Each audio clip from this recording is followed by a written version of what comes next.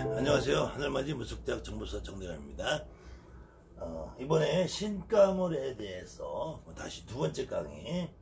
어, 신가물이 있는 사람들이 어, 결국에는 어떤 상태로 오냐면요. 어, 신병이라는 걸 겪게 돼요. 신병이라는 거를. 어, 나름대로는 신병을 겪는 정도에 따라서 어떤 사람은 신병이 조금 가볍게 넘어가는 사람이 있고 어떤 사람은 신병을 조금 더 심하게 앓는 경우가 있어요.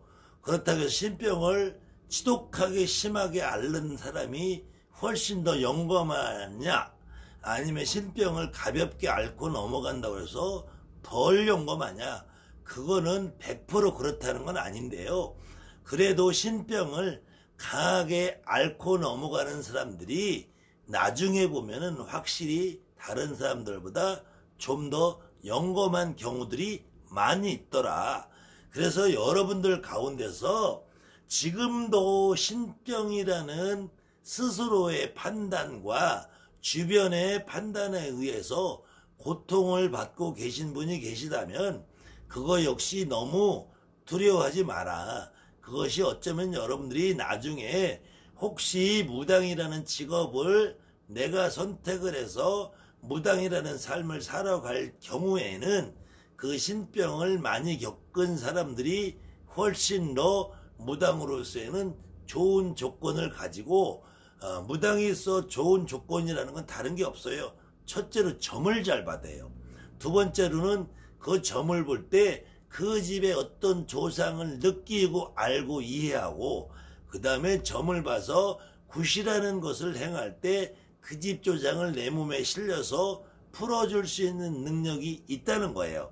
그렇기 때문에 신병을 굳이 두려울 거는 아닌데 다만 조심할 거는 이 신병이라는 이름을 어떤 사람들이 퇴마라는 이름으로 허주다, 잡귀다, 잡신이다 이렇게 말을 내서 이 퇴마라는 이름으로 신병을 치료하려고 생각하는 사람들이 가장 큰 문제지만 그런데 쫓아다니면서 내 신병을 퇴마로 고쳐낼 수 있다라고 믿는 여러분들도 잘못됐다는 거예요.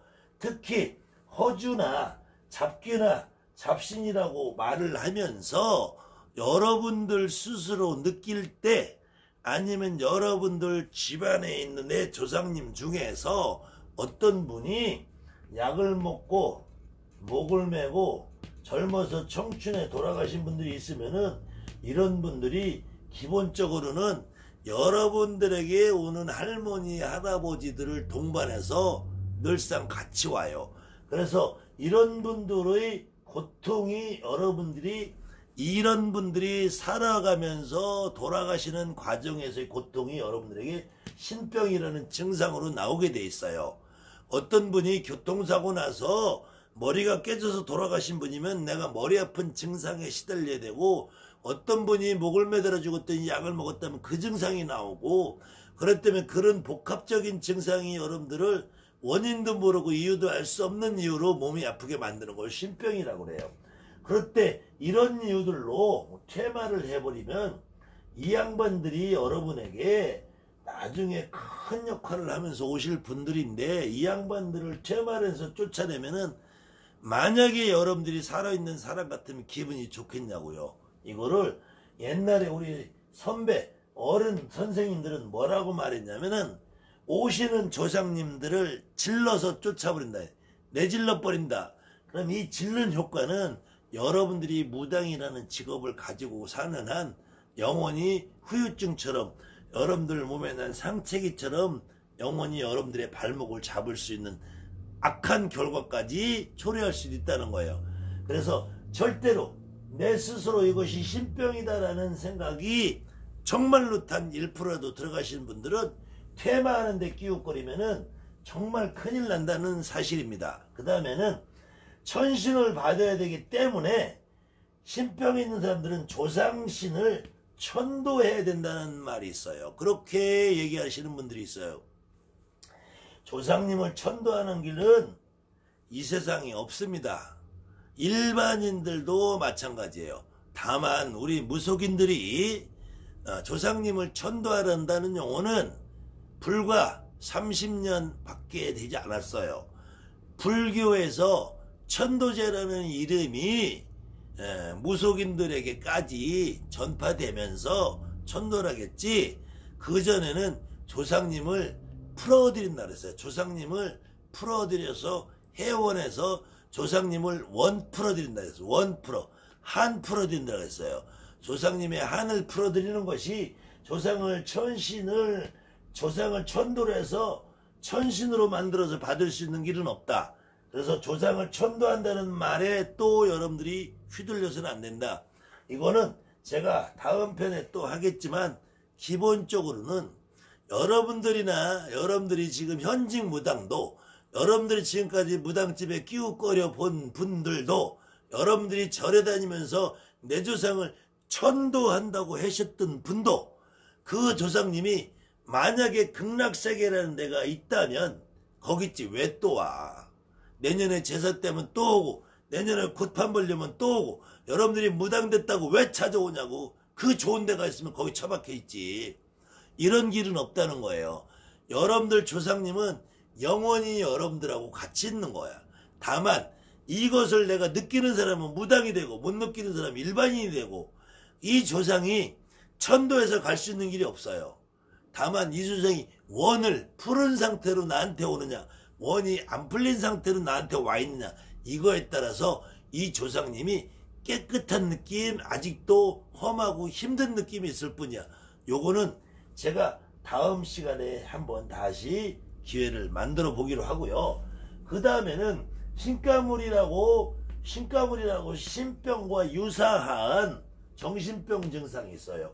이 정신병은 퇴마나 호주로 절대로 해결이 안 되는 것이고 이 정신병을 더군다나 신굿을 해준다 그러면은 이거는 정말 정신병 증상이 있는 사람 헛소리 헛소리 과대망상 피해망상 우울증 조울증 알코올 중독 마약 중독 불면증 이런 것들을 신병이라고 착각을 해서 내림굿을 해놓은 경우에는 이거는 완전히 그 무당은 사기꾼밖에 안 됩니다.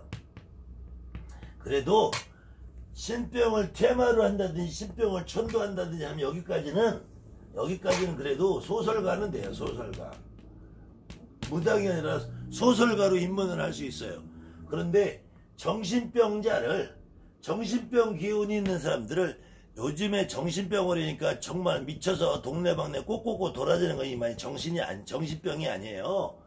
헛소리하고 눈에 뭐가 보인다 누가 나를 쫓아온다 나에게 막 어, 해코지한다 저기서 막 누가 나를 때린다 밤에 막 악몽이 시다 이거 다 무조건 신병이라고 몰아붙여서 이 정도 가지고 신굿을 한다고 치면 이거는 그 무당은 사기꾼이 될 수밖에 없어요. 그래서 이 사람을 비롯해서 이 당사자 비롯해서 가족까지 가족까지 영원히 벗어날 수 없는 굴레를 씌워놓고 평생을 이 사람들은 신굿을 잘못 받았다는 이유로 평생을 굿판에서 굿하다가 잘못하면 끝장나게 돼 있어요. 특히 정신병이 있는 사람들은 본인뿐만 아니라 가족들까지도 이 증상을 정확하게 구분을 할 줄 알아야 돼요. 그렇지 않으면은 신병과 정신병을 구분을 못하면 여러분들이 현직 무당에 계신 분들도 지금 내가 나한테 온 손님도 신병과 정신병을 구분하지 못하고 구슬해서 내림구슬, 신구슬 해준다면은 이거는 여러분은 사기꾼이 되는 지름길이고요. 여러분들 가족 중에서 아니면 스스로 내가 이런 증상이 있다는 사람들이 신굿을 하면은 평생 씻을 수 없는 굴레에서 벗어나오지 못합니다. 그렇기 때문에 반드시 정신병 증세 같은 우울증, 조울증, 과대망상, 마약 중독, 알코올 중독 이건 신병과 반드시 구분을 해야 됩니다. 그 역시 그 판단은 신가물이라는 이름으로 어떤 사람이 여러분들에게 무슨 굴레를 씌워놓고 멍이를 씌워도 여러분들 스스로 어, 판단할 수 있는 능력을 길러야 되고요. 특히 신병의 경우에 이것이 여러분들 타고난 무당으로서의 자질을 갖고 있는 증거다. 내가 이유 없이 몸이 아프고 이유 없이 뭘 해도 잘 안 되는데 내가 사고력이 잘못된 것도 아니고 판단력이 잘못된 것도 아닌데 그렇다고 내가 돌아다니면서 마구잡이로 헛소리는 것도 아니고 내가 그냥 막연히 어디서 무슨 저 악마가 나를 쫓아오는 것 같은 생각이 드는 것도 아니고 그냥 느닷없이 꽃과 쓴 할머니가 보이고 느닷없이 칼을 든 할아버지가 보이고 느닷없이 귀에서 방울소리가 들리는 것 같고 느닷없이 어느 때 자다 보면 꿈속에서처럼 살아생선처럼 어떤 소리가 들리고 모양이 보이고 그러면서 몸이 아픈 분들은 100% 신병입니다. 신병 중에서도 여러분들 집안에 계신 어떤 조상님이 약을 먹었던 목을 맸던 정철 청춘해 죽었던 나이 들어서 중풍으로 돌아가셨던 아니면은 그냥 수명장수에 돌아가신 할머니 할아버지가 오셔도 그 할머니 할아버지가 돌아가시는 과정에서는 최소한 하루 이틀 한 달 두 달을 몸이 아픈 상태로 돌아가시게 돼 있어요. 어떤 사람이든지 100살 먹어서 죽으나 두 살 먹어서 죽으나 죽기 직전은 다 몸이 아프게 돼 있어.